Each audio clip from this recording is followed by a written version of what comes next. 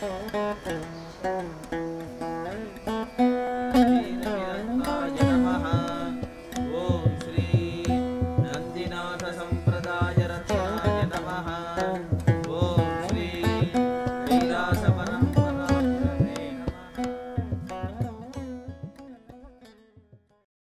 rishis asked the gods, What must a person do if he wishes to reach the blissful state of union with God?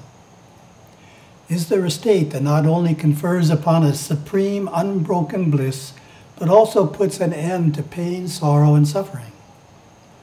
Does this process of reincarnation go on forever? The gods explained, No. Each time the soul takes on a new body, it gets closer and closer to becoming perfect. To gain a better birth, each time one must live according to the natural laws that Hinduism proclaims and live out the karma in this life positively and fully, while at the same time refraining from creating painful new karmas. After a number of such excellent incarnations and after God realization has been attained, the soul body becomes mature enough that it no longer needs to take a physical incarnation. Instead, it continues its evolution on inner planes of consciousness. This release from samsara is called moksha. The soul is said to be freed from the bondage of birth and death. With this dramatic passage, my Gurudevas, Satguru Sivaya Subramuniyaswami, explained liberation from rebirth. To attain life's ultimate purpose, three qualifications must be met. Earthly karma must be resolved, dharma must have been well performed, and God must be realized. The Upanishads assure us if here one is able to realize Him before the death of the body, he will be liberated from the bondage of the world. I have found a surefire way to put an audience to sleep within five minutes. It is to talk at length about moksha. Why is this? The challenges of day to day living are a sufficient focus. There is no mental real estate to also think about moksha. After all, there are three other more immediate goals dharma, wealth, and love. Few seem to incorporate moksha into their philosophical framework. Most have only the vaguest concept of what existence after liberation would be like. Besides, why think about something that seems so far off, something to be concerned about in a future life? Knowing that release comes only when the soul is ripe for realization, having matured through many lives, the average devotee concludes that moksha is as remote as Jupiter, strictly the concern of yogis and sadhus. The challenge is to make life's ultimate spiritual attainment relevant to day to day family life. In public presentations, I refer to moksha as the X marks the spot destination, and then describe the journey that leads to it. While the destination may be distant, the journey toward it is already happening, whether we recognize it or not. I ask listeners to visualize a mountain with a winding path leading to the summit, which is blissful experience of God realization and moksha. In each life, we are born near the same point on the path we reached at the end of our last life. Ideally, in each lifetime, we move farther up the path toward the mountaintop. We don't stand still or go backwards. Standing still results from living a materialistic, self centered life. Going backwards is the price we pay for adharmic deeds, such as serious violence and dishonesty. This singular long term goal defines the direction of Dharma in the well lived life and provides a North Star for all navigating the rough seas of earthly existence. Most souls have much to do and achieve before striving for it directly, though all hope to attain it ultimately. It is achieved only after a certain level of perfection has been attained, maturity of the soul sufficient to harness the forces of instinct, intellect, and emotion. Happily, Hinduism affirms that every person on earth will eventually reach the unitive state of moksha and be free from rebirth. To describe how we can move forward toward moksha, I use the analogy of dance. I ask listeners, what is most needed for a youth to become good at Hindu classical dance? Invariably, most respond with the answer I have in mind practice. Reading books about dance won't make you a good dancer, nor will attending classes without practicing what you have learned. Regular practice is needed to keep the body limber and to master the art.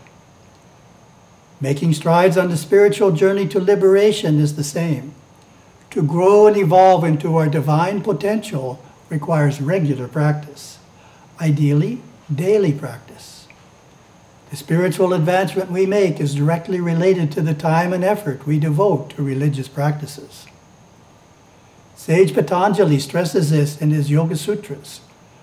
For those who have strong dedication, samadhi is near. Whether one's practice is mild, medium, or intense also makes a difference.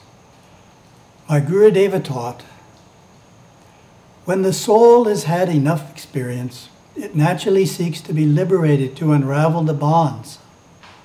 That begins the most wonderful process in the world as the seeker steps for the first time onto the spiritual path. Of course, the whole time, through all those births and lives and deaths, the soul was undergoing a spiritual evolution, but unconsciously. Now it seeks to know God consciously. That is the difference. It's a big difference.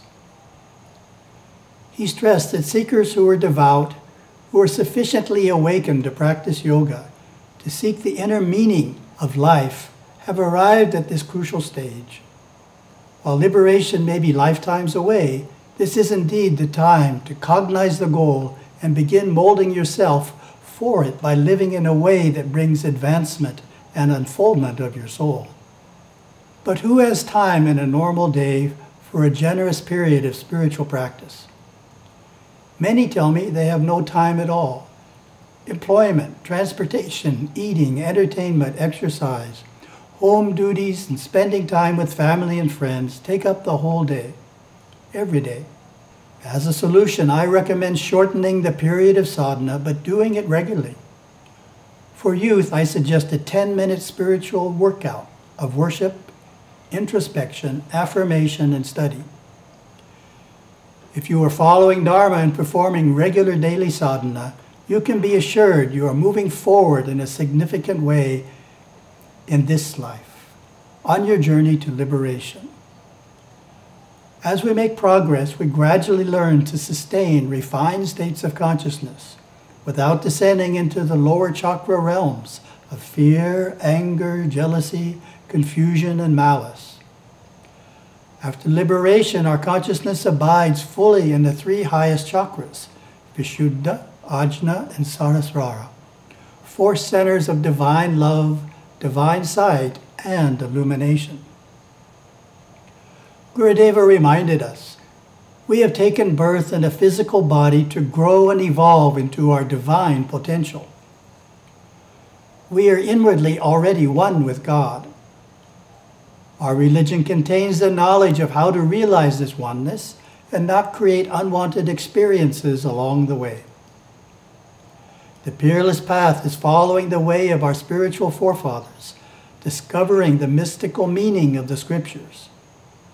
The peerless path is commitment, study, discipline, practice, and the maturing of yoga into wisdom.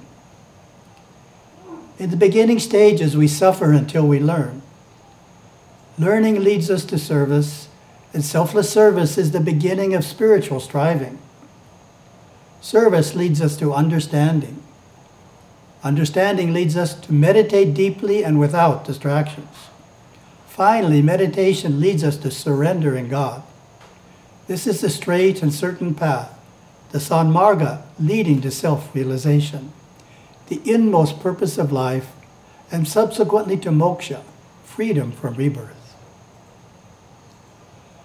The point in evolution at which the soul earns release and the understanding of what happens afterwards is described in many ways. We can get a sense of the range of perspectives from the ancient Brahma Sutra. recites a number of then current views. That upon liberation, the soul attains non difference from Brahman, that it gains the attributes of Brahman, that it exists only as pure consciousness, that even though it is pure consciousness from the relative standpoint, it can still gain the attributes of Brahman. That through pure will alone, it can gain whatever it wishes. That it transcends any body or mind. That it possesses a divine body and mind. And that it attains all powers except creatorship, which belongs to Ishvara alone. While these views vary, they all describe a state of being and evolution that far transcends normal mortal consciousness. Isn't that something worth thinking about? Something worth striving for. It is a state of great souls, such as my Paramaguru Siva Yoga Swami, who lives vibrantly in the Shiva Loka, showering blessings to devotees on earth. It is the highest of human achievements, the pinnacle and very purpose of all other experiences in life. The revolutionary transcendence of limited identity in favor of unity of consciousness and all pervasive love. All the worlds rejoice when an old soul is freed from samsara, the cycle of birth, death, and rebirth.